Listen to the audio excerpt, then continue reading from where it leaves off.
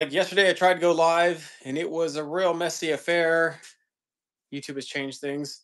So, but whatever. We're gonna try and go live here. And I'm gonna go I'm gonna go ahead and show you my once we got some people poured in the chat here, I'm gonna talk a little bit. We'll go ahead and show what we got going on here. I'm right, I'm leaning on the boat right now. But just kind of hanging out. I think that there's like a big lag time between the internet time and when it tells people I'm live. So we're gonna go try it. Just wait and see some people popping in. But okay, we got two people. Yeah, there's a big lag. There was like a 40 second lag there.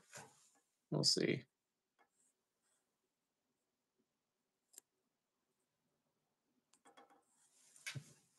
All right, guys. How you guys doing?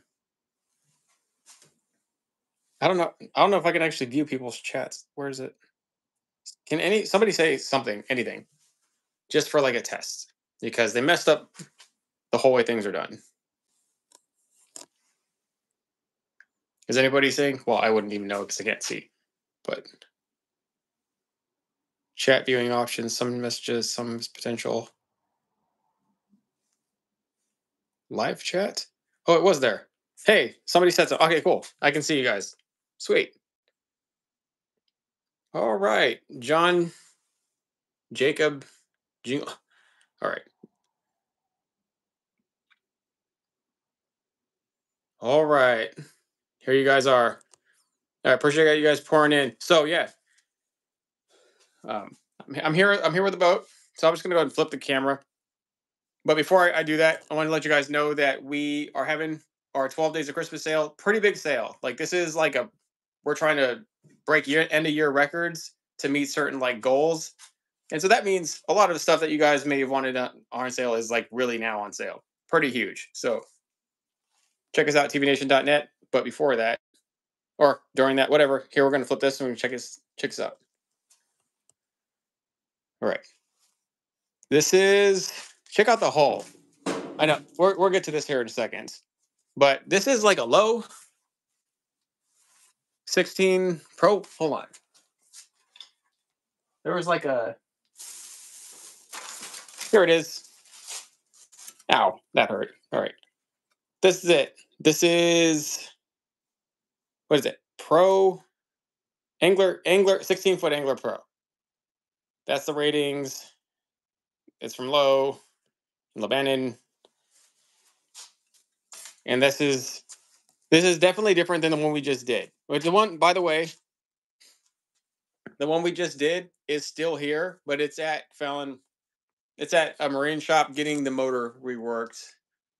So that's a whole nother video in of itself. The reason that that boat has not been on the water in like a whole month, even though it's more or less been done, is because of the stupid motor. So this is like a, a newer motor, like 10 hours on it.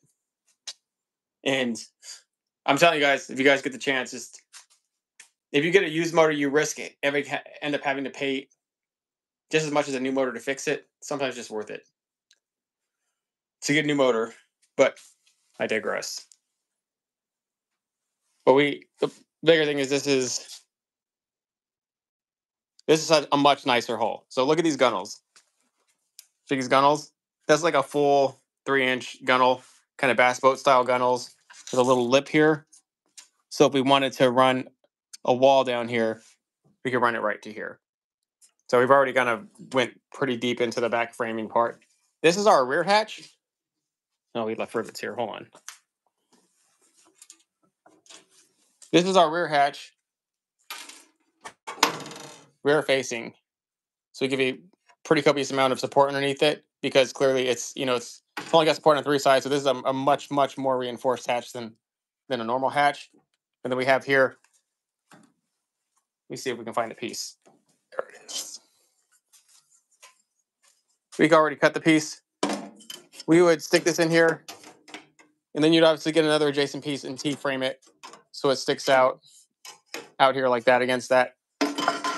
So you have a piece to rivet the hatch to, then you have a piece left over here to rivet the sheet metal to. Right here, but we're way, we're way past that. And this is a live wells or 20 gallon live wells if you buy the whole thing, the lid and the in the lock or the latch, it comes just like this. We tape the key right to it. pay no attention to the gross amount of metal shavings. So we did attach it right in here. This is uh this is if you guys like this so far, hit the like button. Because that's the only way YouTube knows to tell anybody to do anything anymore. Or that that we're even live over here. Um, so this is tubing. This is all angle. You can box an angle. You can box an angle for regular hatches, just such, such as that one. But for the live wall specifically, you need tubing. You need tubing because you need the vertical wall.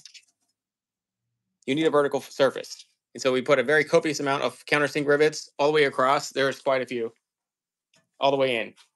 And so that live wall obviously is going to have like 90 pounds of, it's going to be like a whole nother small person worth of weight when it's, you know, tournament ready. So we want to make sure that's pretty stiff. So we have this in here tubing, tubing, tubing. And obviously we did do some welding. You don't have to do some, you don't have to do welding, but for longevity reasons, because we want this boat to be the best we can, and because we could weld, we did. So only in these spots, but the boat can still be put together specifically with riveting. And interesting way, we got away from having to rivet the side rails by using the spines.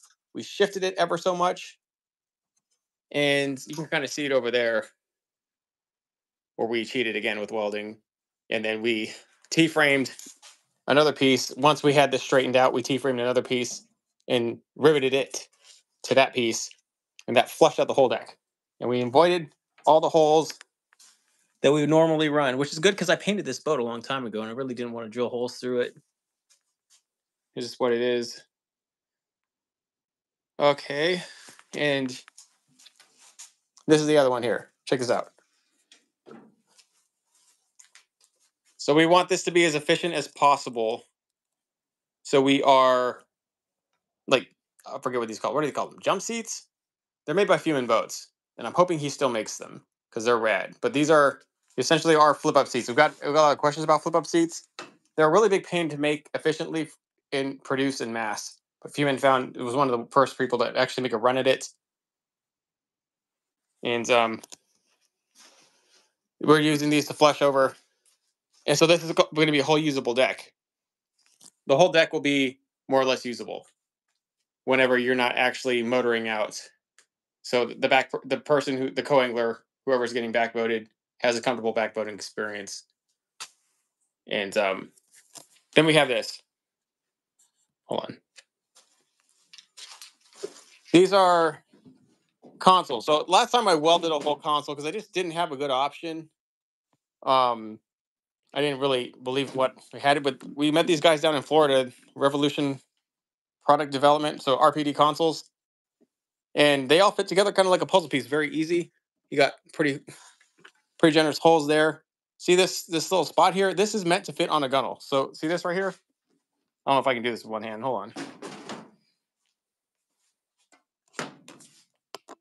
Clamp that here.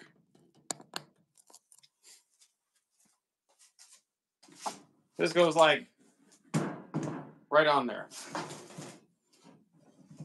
Fits right in that channel. And then they got those holes there so you can actually drill and then fasten it right through the hole. And it just it just stays just like that. And then the other pieces obviously build up and you can size it up or mount it down. It goes all the way down goes all the way down to the subfloor. So it's pretty cool. So it's pretty choice. And I don't know. I don't know how where the guy the guy who's gonna drive this is pretty tall, so I'm thinking if that wasn't there, this would be a little bit more flush up. So probably probably I don't know, maybe that's too short. Let me see. Sit here, console. If I had three hands, I could do this better. But we're gonna just say the back deck plus this flip up seats plus the console are going to take about 50 to 55% of the boat. It's about the halfway point here for the boat. That gives us the whole rest of the deck. That gives us a pretty copious deck. I'm saying that's probably a good eight feet, nine feet front deck. So I've been, I mean, I've thought about this for a long time. I have personally never done a 1648 because so many people do them and they're just uninteresting when, when they're just spammed in mass.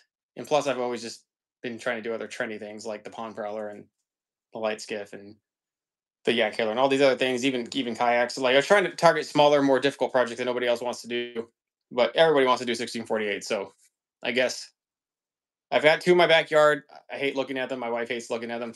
So we got one out. That one's done, but that was much more of a basic conservative, very budgetist run.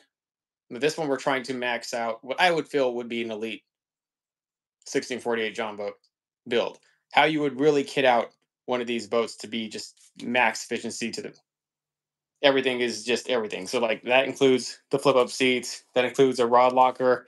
We're probably going to end up butting these together, which is going to look a little weird, a little weird um, initially. But if you don't, here, let me stop. Watch.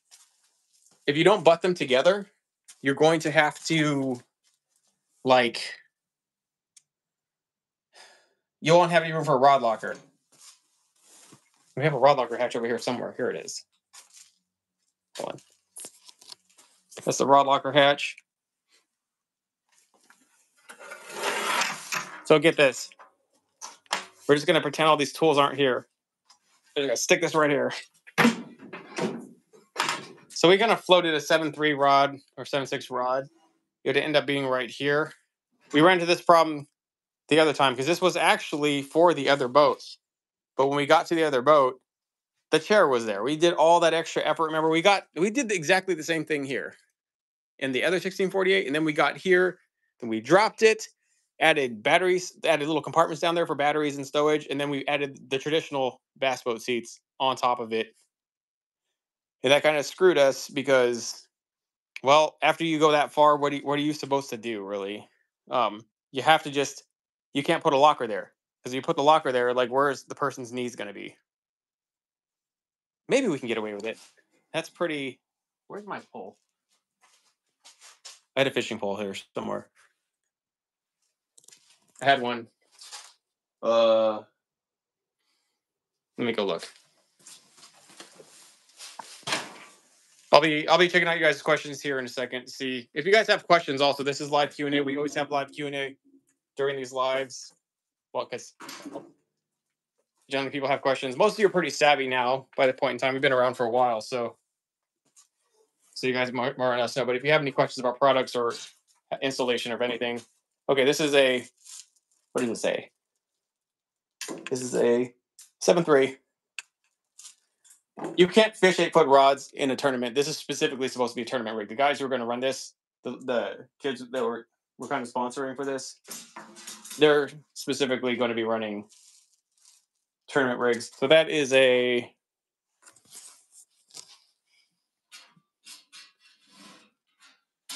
and I did not make that little chasm. That was back in the day. That was 1970s ingenuity um, for a rod, a tubeless rod locker slope. Because this was just like anything else, with just a very basic four to five foot front deck, bare hole. That's the original subfloor that we cleaned up, and we're we're going to use again. But so we could run this. If we run it here, we can't run it here. It has to go back. We have to assume that he's not going to just tournament fish, and possibly he'll run. He'll run big swim bait rods. You throw big baits. You definitely need an eight foot minimum. So to get that in there, the look where the look where the seat would be.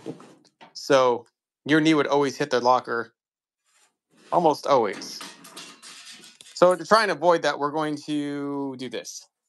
We're gonna push this over like that, and that will give us a little bit more room. So if he's sitting there, it'll look kind of weird though, right? Like, do you think it'll be too weird? What do you guys think? Sorry for all the shaking. I'm trying to fix this mount here. Do you think that'll be all too weird? Because you're kind of like together pretty close. We can maybe space you out an inch or so. We'll have to make some sort of joiner for those two pieces anyways. But you'll have this kind of sitting here.